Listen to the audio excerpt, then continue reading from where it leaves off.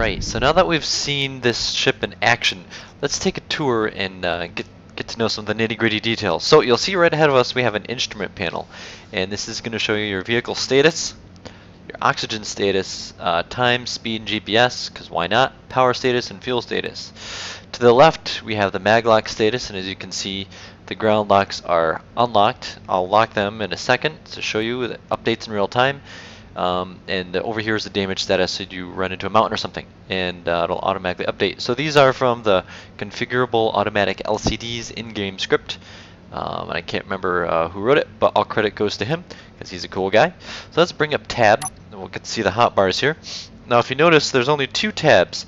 Uh, the first tab controls uh, how you get in and out of the uh, cockpit, some camera views and the airlocks in bar 2 controls the controls 1, 2, and 3. Steering 4 controls the ground lock. Let's change view here. Right, so the ground lock is that. See the bars go right underneath the wheels right there and lock. 4, 5, and uh, 5, 6, 7 controls uh, uh, uh, going back and forth, controls direction. And 8, 9 are your mass blocks. Hooray! Alright, so let's release those ground locks and you'll see that it'll update automatically. Hooray, there you go. You don't need to see any more than that. Alright, so say you're going along and you want a better view. Alright, so you're going to go to hotbar 1, click bar 3 and that's going to drop down your, your instrument panel. Click back again, make it go up. If you want a better, completely better view, you can move the seat forward and it gives you a better view from your feet to see what's going outside the cockpit window. Sweet! Now I've programmed it so that it will automatically turn off 3 and 1 when you're out there so it doesn't so you don't glitch um, and accidentally explode things. So let's hit one, get out of our seat, we'll take a tour and see what's back. Okay, so as you can see we have our oxygen air vents right there. This controls the lights on the ship.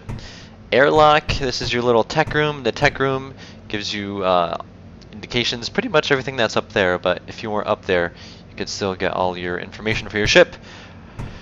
Power status, vehicle status, title, access to your cargo, time, date, GPS, um, and a complete inventory. And uh, these button panels I haven't really filled out because I don't know what to put on them, but I thought they look cool. Of course, we got blinking lights, and the blinking lights are updating our scripts and updating uh, the screens. Excellent. So back here is the storage area. Now this is not um, not at all uh, airproof, and that's alright. There's an elevator to get down for immersion, so we're not having to use our jetpack on planets. Behind there is our storage box if you need to place things in storage up there, or from outside, which I'll show you in just a second.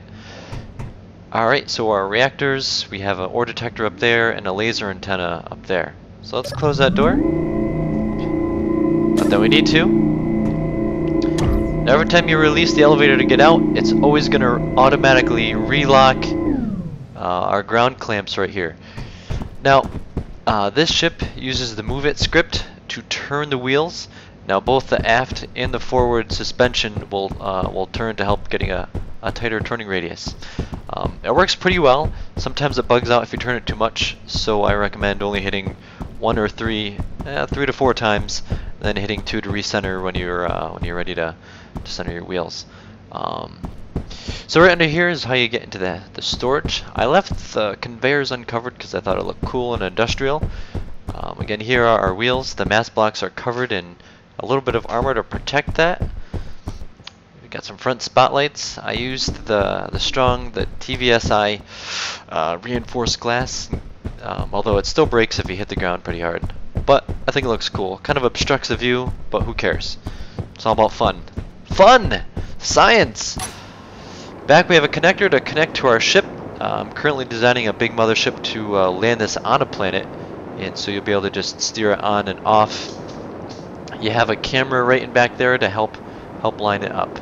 Uh, it's right there on the bottom wheel set. Alright, so taking a look at the top of the ship, so we got, uh, I think, a pretty nice design.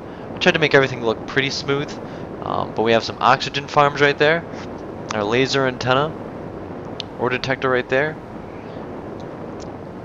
and a little styling armor set. Sweet. Alright, so um, I got the inspiration from this design from uh, Wasted Space's video on the rock crawler. by Terminator Bacon. I thought it was pretty cool, and uh, I really liked how the articulating wheels helped it to uh, go up the steep hill as you saw. So um, what I did is I modified one of my previous designs uh, for a planetary rover which is just over the hill uh, right there. And you can see there's a similar look with uh, with a cockpit in the window the mass blocks on the side although this one is not nearly as good at um, at going up these steep hills.